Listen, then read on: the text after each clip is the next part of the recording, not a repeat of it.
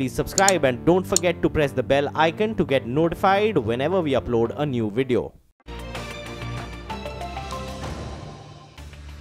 30 minutes. But first, let's talk about the market action where markets saw short covering bounce after a big fall yesterday. So the Nifty ended just shy of the 10,700 mark. Sensex rallied more than 100 points. Corporate banks weighed on Bank Nifty, with that index ending absolutely flat with a little bit of a negative bias. Mid caps outperformed today, rallying about a percent in trade. Let's put this into perspective. Anuj Singhal joins in now with the of today's trading action. Anuj, uh, you know, yeah, bulls bouncing back, but you know, given the rally that we have seen over the last two odd weeks, is this bounce really sustainable?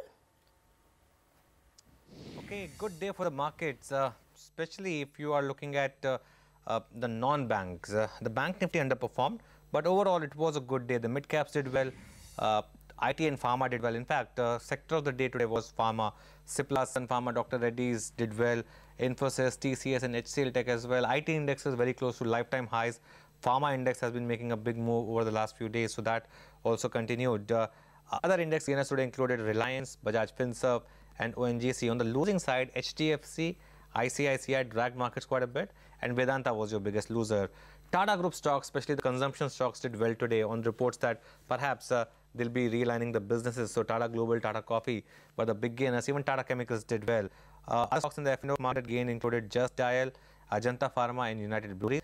Uh, while on the losing side, you had names like 8K Miles, IDBI Bank, and also NDTV. So all in all, uh, we'll have to say that uh, uh, the bulls had this day but the Nifty closed right at 10,700. 10,750 is the 20-day moving average. Let's see if that resistance can be taken out.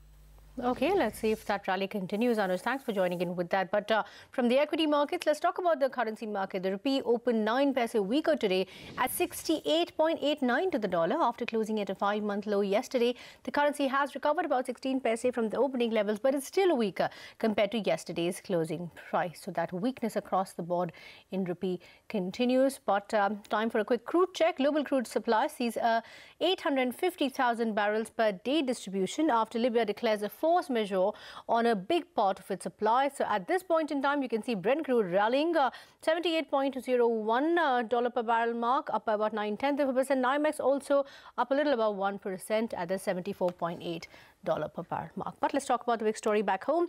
Yesterday, a bankers panel led by PNB Chairman Sunil Mehta submitted its recommendations on fighting the NPA menace to the Finance Ministry. And instead of a bad bank, the panel of bankers have now suggested a five-pronged strategy to deal with bad loans in the banking sector. The strategy includes banks setting up a dedicated vertical to deal with smaller stressed assets of less than 50 crore rupees and an inter-creditor agreement to deal with stress loans between 50 and 500 crore rupees. Now, that's not all. The panel has also recommended setting up asset management companies for stretch loans above 500 crore rupees with money raised through alternate investment funds or AIFs. Today, we caught up with PS Jayakumar, the MD and CEO of Bank of Baroda and a key member of the Sunil Mehta panel. He remained optimistic about domestic and global investors participating in the first tranche of AIFs. He also told us that the larger challenge was not raising substantial capital, but getting talented employees in the asset management companies. As far as the AMC is concerned, there is absolutely no government involvement of any sorts. Mm. Now we're talking about a fairly small size capital for the AMC. Mm. So the the sense is, I mean, uh, therefore it should not be difficult to raise the fund. I think the larger question is a talent pool in the AMC and getting them and, and getting a quickly a quality team in place that can then help and roll out this process. I think that's larger talent than setting up the AMC or raising the crores of capital or 10 crores of capital, whatever that initial number be. I'm surprised why you're saying that capital is low. If you have to transfer so GMR some, somebody will roll, somebody no, no. will suppose I have to transfer GMR Chhattisgarh or GMR Rajahmundry or, uh, uh, uh, you know, KSK Energy. These are all large yeah. companies. I mean, uh, 6,000, 7,000 crore at least. So a capital of about 2, 3,000 crore should be ready. No, I, Who again, incorporates so, that fund? Okay, let me again clarify. There are two elements to it. There is an asset management company, yes. which is fundamentally capital light. There is an AIF, which has a corpus of funds. So therefore, there are two different sets Okay. of fundraising as it is. You asked me the question relating to AMC, so I said it's not a very large Hmm. Yes. amount. That Yes. ball can be set rolling. Now, as far as AIF is concerned, the expectation is domestic institutions will participate, and we probably will get. Uh, foreign institutional investors are, are concerned. As far as the first tranche is concerned, there is reasonable conviction we can raise that kind of funds. Okay. Okay, so what you envisage is that if uh, 10 banks have loans to say uh, GMR Chhattisgarh or GMR Rajahmundry or uh, uh, some GVK airport, you'll transfer the asset to the AMC and the AMC runs it, but in your books you all would have provided for it. Is that the way we should understand it? No, no. The way okay, let me try to explain it the way the way it is. See, there is the AMC, which is and ARC, which are the management part of it. There is a fund that holds holds the asset. Hmm. So the the assumption is that I mean not the assumption. The plan is that whichever assets are there, it is an open architecture. Many people can bid for it, and whoever bids for it the best would be would would end would end up buying the asset. Okay. But whoever takes it will pay us pay the cash amount for settlement. There are so and uh, that would be settled in 60 days time. That's what we envisage. So the transfer of assets will take place and the banks will get the funding and so the transactions will get completed. Now if there are some deep discount bonds that are going to mature or there are going to be some instrumentalities which by which the banks will get upside, then those will happen at that point of time. But as of but what is envisaged is a pure settlement by cash. So the books, the balance sheet assets go off the balance sheet, the cash amount is received, and whatever additional provisions that are need to be taken are taken. Okay, uh, no, I mean, Or conversely, if you have release of provision, that could also happen. okay, and you expect that uh, uh, So your, your concern really is who's going to put the money in AIF. Yeah, where is the cash coming from? There are investors, uh, both Okay. domestic and international. Banks can also participate, but it's not expected the banks are going to fund this. Fund this, and there is a cap. I think about 10% banks can participate in any AIF. Mm. Within that scheme of things, some banks will participate. Those who participate get the upside on the asset as they as they get as they get sorted out, right? Mm. And, and so there will be some bank participation, there will be other domestic institution participation, there will be other forms of private participation, there will be investors coming in. But what we also envisage is other ARCs will team up in a similar manner and raise adequate amount of funding for them to operate. So in essence, it is not one AIF, but multiple AIF, the sector-based AIF. So all of that will come in. So if you ask, uh, that's the way it will roll out.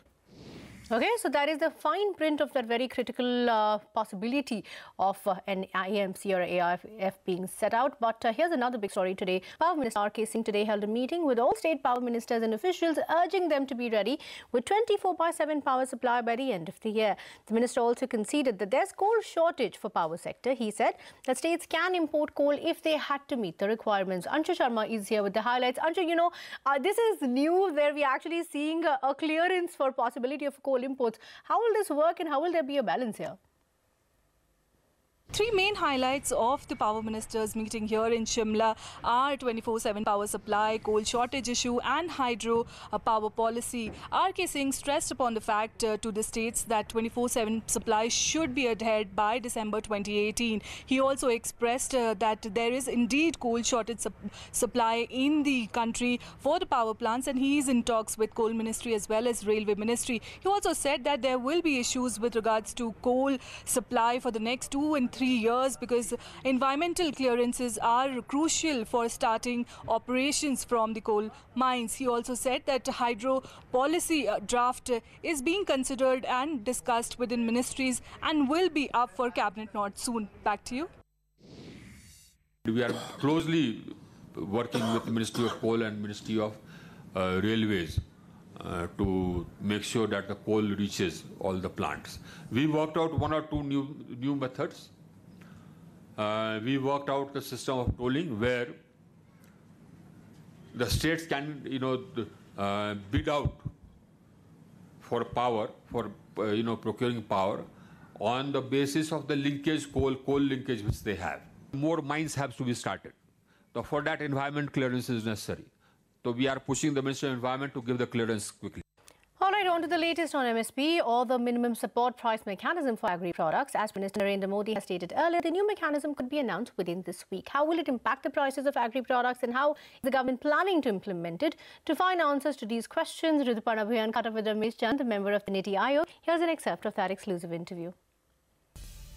Because our markets right now are not very competitive. Right. So we are thinking of intervening into markets. Right. That we have announced MSP. Right. So how to see to it that farmer MSP. Right. For that there are different proposals. Right. One proposal that whatever we do in the case of paddy and wheat, Hmm. and whatever to some extent we have been doing in case of pulses and oilseeds Hmm. under the price support scheme, we expand that over other crops also. Right. This is one mechanism. The Right. government procures it. Right. Second is that some people also suggest that you think of some uh, deficiency price payment Yes. as MP has tried it on a pilot basis. Yes. So can that be considered? Right. And third is that can we involve private sectors? That we have some arrangement with them, that we give you some facilities, hmm? we help you in export, hmm? we help you in A2, you said you you said A2 plus FL uh, mechanism will be used uh, plus 50% margin. will be announced based on that. Right. Yeah, of course. So what, and this 50% margin will that add to inflation? Because that is one fear which which many people have been raising. Hmm. No, no, no. It's not uh, that it will add to uh, inflation, or as if this is being done for the uh, entirely in a new way. Right. Like if you look at MSP of wheat, it is already double A2 plus FL. Okay. Okay. Okay. So, and we have seen that the the raise may be Right. in some commodity it does not even involve raise, but in large number of commodities it involves raise of 4 to 47 percent. Right. And it will come around something like 6 to 7 percent in the price that is to be paid to the farmers. Right. So the range is between 4 to 40% if you look at individual. uh, Uh, crops. individual crops of kharif season if you look Yeah, at. right. So it just wherever that increase has to happen. Right. In fact, I will say 0 to 40 percent. Okay, okay. Some crops there is no increase as per the cost formula. Right. That doesn't mean MSP will not consider increase. Uh-huh. Huh? Uh-huh. This is minimum. Right. Okay, that it has to be at least this much. Let's get you a CNBC TV 18 exclusive interview now. FMCG major HUL will focus on premiumization and digitization. That's the word coming in from former HUL chairman Harish Manwani. Speaking exclusively to CNBC TV 18's Priya Sheth, he also talks about pockets of growth for the company and his vision for 2025. We do recognize premiumization as an important aspect, and it's, it's, it's easy to understand why. Uh, uh, India is a, is, is a fast growing market. Uh, quality of standards of living are going up, people's incomes are going up, and therefore we do expect people to upgrade and move up to buying better products. Having said that, you have to also recognize that again there is diversity in India. And, and that is why we still believe that our portfolio strategy of ensuring that we continue to premiumize some of our offerings, even as we continue to be relevant at the mass end and the middle end, is equally important. As you step away, what is your vision for HUL in 2025? Which do you think would perhaps be the categories that would lead growth uh, for the company? I think uh, the, the good thing is that part of our strategy uh, remains, if you like, um uh, uh, fixed, because that's what, that's our that's our DNA, and our DNA is that we do believe that we have to be market makers. And as we look into any one of our categories that we operate in or sectors that we operate in, we want to make sure that we lead market development for adjacent categories and premiumization. We want to lead that. Our vision also is that we need to remain relevant for the consumers of tomorrow. And the big trend that we are seeing, of course, here is, is this whole uh, digitization and technology. And I think we have been therefore proactive in terms of ensuring that the way we market our brands or the way we distribute our brands uses some of the best technologies to be relevant to the consumers of tomorrow. We are also conscious that big data is going to make a, is going to be an important competitive advantage. So we are we are actually moving towards in fact ensuring that we are able to use big data to segment our markets to reach our consumers in a more targeted way. All right, uh, so that's the word coming in from uh, Harish Manwani. But uh, let's also talk about the other big story that we are tracking this evening, which is from the court space. The Supreme Court has reserved its order on a PIL against cow vigilantism. The apex court, in fact, had observed that it is the duty and the obligation of the state to prevent any instance of mob violence. It has also asked the centre to formulate a scheme to deal with mob lynching. Ashmit Kumar is here with the details. Ashmit, take us to the highlights of the hearing. Well, what we understand is that firstly, this was a petition filed by Congress uh, leader Tehseen Poonawalla, wherein uh, the uh, attention of the court was brought uh, to various instances spread across various uh, states where there were cases of mob lynching and cases of cow vigilantism. Now, it is in response to that that the Apex Court had detailed arguments today. And what's interesting is that the Apex Court made some key observations. Number one, the Apex Court says that there is a need of an elaborate judgment to ensure that there's accountability, to ensure that uh, the practice of cow vigilantism, of, of, of lynching is checked. Uh, it also went on to say that there, is a very clear duty and obligation of the states to prevent such instances. In fact, uh, the Apex Court also suggested that the centre should consider formulating a scheme under Article 256 to ensure uh, that they have some mechanism in place to deal with instances of mob lynching. The centre, on its part, however, has made its uh, position quite clear that as far as the law and order is concerned, that is strictly in the domain of the state. And as far as the centre is concerned, they've done that. They've issued guidelines to help the states uh, to prevent cow vigilantism, and that's perhaps where the buck stops with the state governments. But nonetheless, uh, uh, the Apex Court has reserved its judgment. Uh, we will go get more clarity on the way forward once the Apex Court pronounces its order in the days to come. Back to you merger between telecom giant Vodafone and Idea did not meet the earlier deadline of 30th June and sources told us that the food companies had extended the merger deadline by a month. Now, Telecom Minister Manoj Sinha has rejected those reports which said that delay was due to the central government. Here's what he had to say on this issue. देखिए merger और acquisition के norms DOT ने तय किए हुए हैं वो norms पूरे होंगे तो कोई एक सेकंड की देरी डीओटी की ओर से नहीं होगी मैं समझता हूँ कि सरकारी तौर पर विभाग के स्तर से कोई विलंब नहीं किया जा रहा है जो वैधानिक प्रक्रियाएँ हैं औपचारिकताएँ हैं उनको पूरा करना मैं समझता हूँ कि आवश्यक है Quick look uh, then at some headlines that we're also tracking for you today. Heavy rains lashed Mumbai, bringing the city to a standstill. Part of an overbridge near Andheri railway station collapsed, injuring six people and hitting the suburban rail railway services. Also, waterlogging in several pockets of the city led to disruption of road and air traffic. The Met Department expects the downpour to continue throughout this week. Over 1,500 Indian pilgrims undertaking Kailash Mansarovar Yatra have been stranded due to landslides caused by heavy rainfall. The Indian Embassy in Nepal said it was monitoring the situation and was trying to evacuate those stranded as soon as possible. The US Secretary of State Mike Pompeo will be meeting the North Korean leader Kim Jong un on June 5th. This meeting is being held in North Korea as part of the process of denuclearization. Pompeo will then travel to Tokyo and Hanoi to discuss denuclearization with the other stakeholders. Former Malaysian Prime Minister Najib Razak has been arrested by anti-graft officials in Kuala Lumpur. He has been accused of laundering money from a state investment fund founded by him about a decade ago Civil lawsuits by the U.S. Department of Justice allege that nearly $4.5 billion have been misappropriated. Now here's another CNBC TV 18 exclusive. In a bid to assuage landowners protesting against bullet train project, Railways has decided to adopt a new strategy. In this new plan called Transparency Strategy, Railways will make their compensation matrix public. Ashpreet Sethi, who has been tracking the story, joins in now with the details. Ashpreet, take us through the exact details that you're picking up.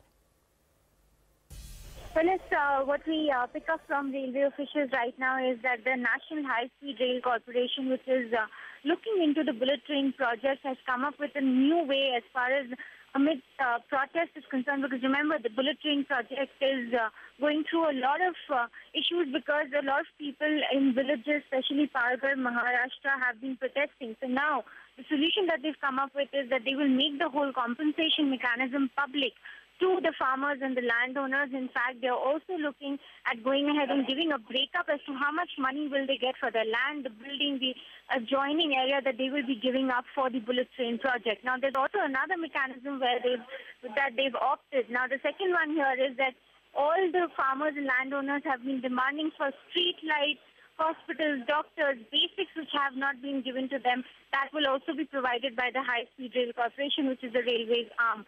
10,000 crore rupees is what they set aside for the total land acquisition for the 518 kilometer bullet project. It remains to be seen how will this progress because remember they will have to give landowners compensation breakup to get them on board. Back to you.